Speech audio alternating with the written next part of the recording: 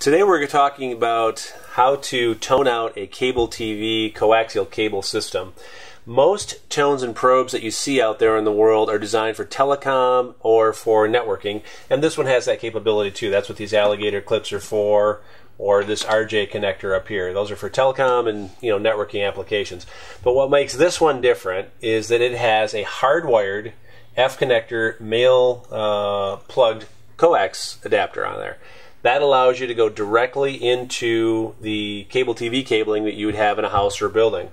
And that is uh, almost unique in the Tone and Probe world. This is the Pro 110A from Armada Technologies. It's together with the Pro 220A kit that would include a, a probe and a, a, carrying case. Very common in the Tone and Probe world. But what is different is some of the features are specifically designed for cable TV. So first off, both of these units use AA batteries. Why? Because double A's are very common in the cable world. Nine volts are not so much. So if you've got remote control uh, units around your office, etc., double A's are much more common, much more easy to replace these units. Having said that, both of these units use four double A's. The toner has them built in here. The probe has them on the backside in here. They last over 250 hours of usage, so based on that, you may never have to replace the batteries. But Double A's, very cable TV friendly. The second thing you're going to notice is on this hardwired F connector uh, cable, we have two adapters a female to female barrel and a female to male 90 degree connector.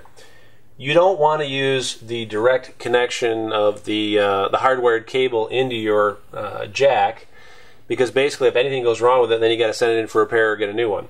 So these adapters basically provide you the ability to not have to do that by putting this adapter on the hardwire, and this is where I would leave it. This is the one I would use all the time. And then going into the wall plate. Now you're protecting your unit and you're sending tone. To send that tone, there's a slide switch on the right hand side here. I, pu I push in the down position.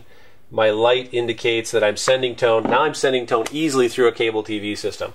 If I want to verify I've got it, the probe is making that beep, beep, beep sound we're all familiar with.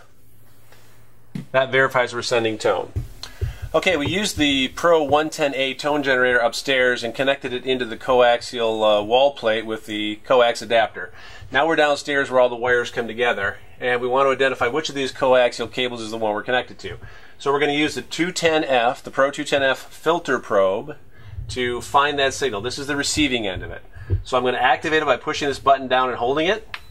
And you'll notice immediately that there's a headlight on it. That's very nice when you're in a darker, this is a well lit area, but if it's not well lit, you can use that headlight to assist you. So, we're going to look for the cable, the coaxial cable that's making the beeping signal, and that'll be, identify which one we're connected to. So I'm going to probe these. Nothing. Nothing. Getting a little signal over here. Not that one, not that one. Probably the. There we go. That signal I obviously identifies the wall plate that we're connected upstairs. You label it, you connect it, you do whatever you want to do, test it. Now you identify where it's going to be. But the beauty of it is you've got those adapters that easily get that tone generator into the system. Now, the last thing I want to tell you is this probe is a filter probe. It's not a standard broadband pick up everything probe. And what's cool about that is I know this is the cable. When I first turn it on, I hold the button down and I put it near electrical. You hear that buzzing? Yeah, that's a problem. I can't always hear my tone when I get that. In fact, you may not be able to hear me right now with all the buzzing that's going on. When I push the probe again, I'm filtering out a lot of that buzz. So if I connect here with my toner, I can hear it. If I go broadband without any filter,